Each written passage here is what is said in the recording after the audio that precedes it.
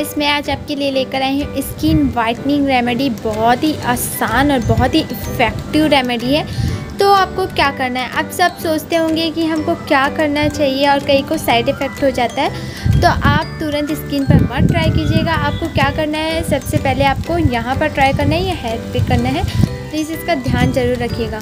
फिर आपको क्या करना है गाइस आपको लेना है एक बाउल उसमें आप दो चम्मच गेहूँ का आटा ऐड कर दीजिए, एक चम्मच बेसन ऐड कर दीजिए, थोड़ा सा टर्मरिक पाउडर थोड़ा सा कर्ड ऐड कर दीजिए और इसमें आप डाल दीजिए गुलाब जल। इसे अच्छी तरह मिक्स करके आप अपने पूरे चेहरे पर अप्लाई कर लीजिए। अप्लाई करने के बाद आपको इसे 15 मिनट ऐसे छोड़ देना है। छोड़ने के बाद फिर आप इसे ठंडे पानी से धो लीजिए। और याद रखिए, किसी भी चीज़ को यूज़ करने से पहले ना, आप हल्का गुनगुने पानी में कपड़ा को डालकर अपने पूरे फेस पर ऐसे रख रख लीजिए। पाँच मिनट तक।